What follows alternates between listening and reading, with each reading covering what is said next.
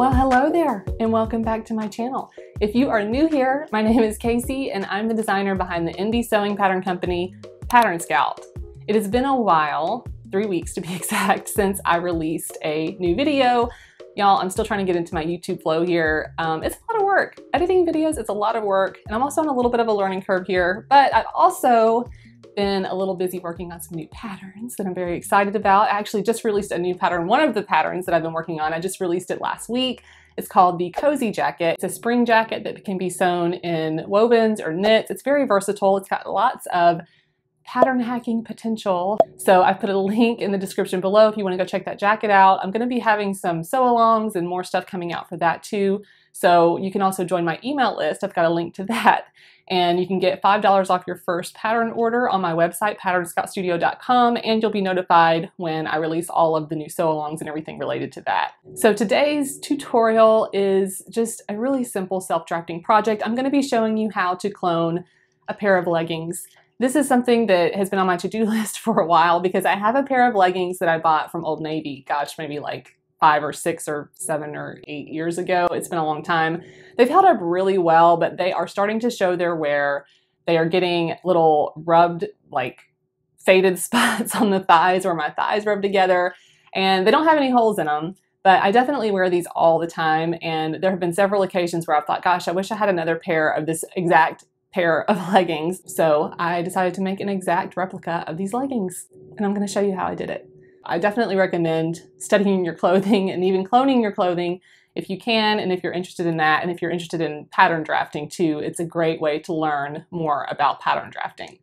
I plan to continue to build the playlist for pattern drafting here on my YouTube channel. I've got one other video showing you how to draft a wrap blouse using a bodice sloper, and I've also got a class on drafting your own bodice sloper. I'll put links in the description to those videos as well. I don't know why I'm talking like this. Okay, let's get started on these leggings. The fabric I'll be using for this project is a medium weight cotton poly spandex blend with four-way stretch and decent recovery. And as you can see, it's really similar to the color of my leggings. I'll be transferring the pattern onto trace paper so that I can reuse this later. And I'm just gonna cut a length that is several inches longer than the length of my leggings because I want to add a little extra at the top for a fold over waistband instead of drafting a separate waistband for the pants. And I'm just taping down the trace paper to my cutting table so that it doesn't shift while I'm drafting. I'm gonna draft the front leg of the pants first and I'm just kind of finding the point where the crotch meets on the front and back leg and I'm folding the pants in half making sure that I line the seams really well along the edge and along the crotch curve. This takes a little bit of finessing, but you basically just want to get this as flat as possible so that you can really see the shape of that front leg pattern piece and all of the seams are along the edges. And since the back leg is bigger than the front leg, it's going to kind of fold over the edge a little bit, but that's okay. Now I'm just going to trace around the edge of this front leg piece with a pencil. As I trace this, I'm trying to get as close as I can to those seam lines and I'm including the waistband here on this draft. So you can see here that my fold of my inseam is about a quarter inch away from where it needs to be just because of the way I had to fold the fabric. So that's something to keep in mind. And when I get to the outer edge of the front leg, I'm having to lift up and kind of guesstimate where that seam line is gonna be. It doesn't have to be perfect here, but you wanna get it as close as you can. And I'm doing this all the way down to the ankle of the pants. So once I have this drafted, you can see I've got it kind of dashed in. I'm gonna go around with my pencil and draw in the lines a little bit darker.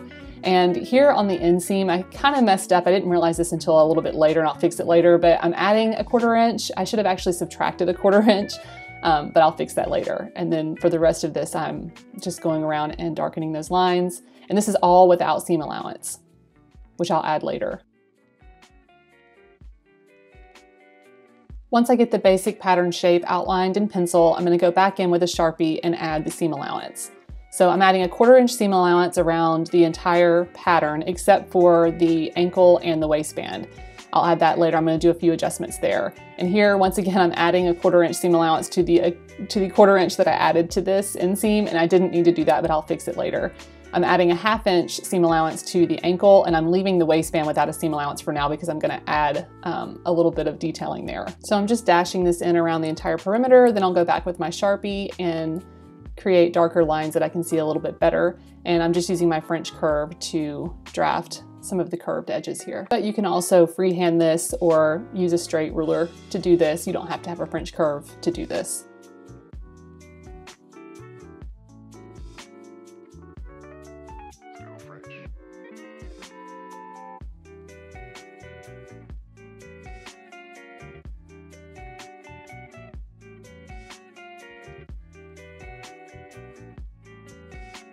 So I decided to integrate the waistband with the front leg and you can see that the waistband is separate on this ready to wear pair of leggings.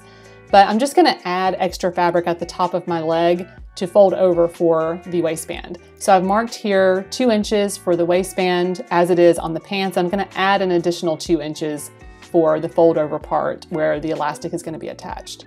I also decided to raise the waistband just about a half inch because when I wear the leggings, the ready to wear leggings, I do feel like they kind of are just a little bit lower than I'd like them to be. So I raised the waistband a half inch here. And now I have this four inch piece that will be folded over for the elastic. Now, here's where I realized that I needed to fix my inseam and I figured out that I basically just needed to draft the inseam right where I originally traced it. So now that will include the seam allowance and I'll just cut out my pattern piece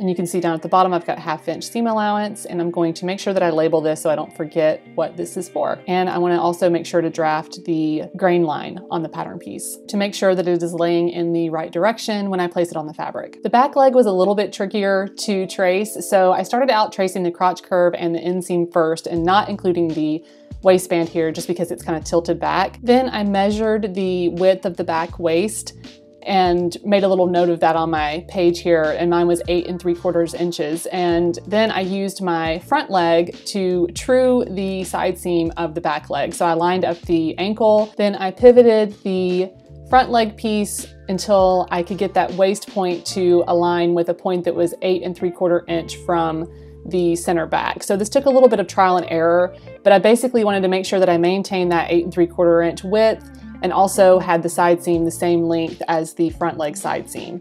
So I went back in, I slipped that front leg under the trace paper and then traced the side seam of the front leg onto the pattern piece for the front, the back leg.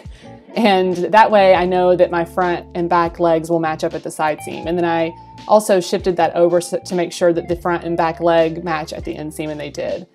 Then I just did the same process to add the waistband at the top and trace the seam allowance and labeled my pattern piece and added my grain line and then cut it out and I was good to go. I had both pieces cut out. I just lined them up again just to make sure that those side seams would match up and I'm ready to cut my fabric.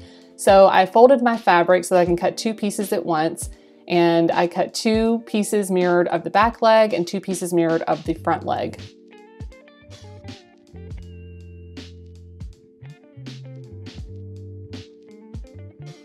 And that's it for cutting the pieces. So now I'm ready to start assembling my pants. To start, I'm going to sew the crotch curve on both the back and the front, sewing the two front pieces together and the two back pieces together at the crotch. I'm using my serger for this, and again, I have a quarter inch seam allowance. Next, I'll open up the back legs and lay that face up then I'm gonna take the front legs, open those up and lay those face down so that right sides are together and I'm gonna sew both side seams. And if you don't have a serger, you can also use a zigzag stitch or a stretch stitch on your sewing machine. So here I've got my side seam sewn. Now I need to attach the inseam. So I'm first pinning this at the crotch, then I'll pin along the entire inseam from ankle to ankle and I will sew that on my serger again with a quarter inch seam allowance. So now my pants are mostly assembled and I have to attach my waistband. I've cut a length of waistband elastic here. This is a two inch wide elastic and I'm gonna sew this into a tube and I'm going to attach this to the waistband. And I'm using pins to separate the waistband into quarters so that I can easily line this up. And since the back is a little bit wider than the front, I've got this laying flat and I'm just gonna put a little clip into each of the side seam or each of the side edges so that I can get a nice alignment with my quarters of my elastic. And I'll take this over to the serger and attach the elastic to the top of the waistband. And the elastic is on the interior of the pants here. I've turned off the blade on my serger here just to make sure that I don't cut into the elastic and I'm attaching that right along the edge at the waistband. Now I can just flip that waistband down toward the interior of the pants so that the elastic is sandwiched between those two layers and I'm going to stitch around the entire perimeter of the waistband to attach the elastic and keep it in place. I'm using a twin needle here and this will create a stretch stitch on my sewing machine and give a really nice finish. Again, if you don't want to use this type of needle, sometimes they can be a little bit finicky. You can just use a zigzag stitch and that will be great to hold this in place. And so now you can see that's very nicely and neatly finished and the elastic is very even all the way around. The last step is to hem the ankles and I'm going to finish the edge by serging. You don't have to do this, but I think it just makes a really nice neat edge. If you have a cover stitch machine, this will actually be a lot easier to hem these. But once I get that serged, I'm just gonna flip that edge toward the interior and I'm again gonna use my twin needle to stitch all the way around the ankle. Again, you could use a zigzag stitch for this if you'd like, or if you don't want to use a twin needle or you don't have one. That's basically it. Now I'm going to fold my pattern and put it away in a manila folder. This is how I store all of my paper patterns. And I want to make sure I label it and put any kind of notes like the waistband, elastic length, those types of things on the outside of the package so I don't forget. And then I'll store it in my nice, neat little pattern storage system here. And I'm done. And just for a little comparison, here is what the old leggings looked like, and here is how my new leggings look. I think these turned out pretty freaking great for a pair of leggings that I was trying to copy, so I'm happy. Thank you so much for watching this video. Hopefully I can get in a better schedule of posting more regularly eventually when I kind of get all my shiz together and figure out a good schedule for editing these videos. But Thank you for watching. I really appreciate you being here. If you did enjoy this video, be sure to subscribe and that way you'll be notified when I release new videos in the future. Okay, I think that is all I have for you today. I will see you in the next video. Bye.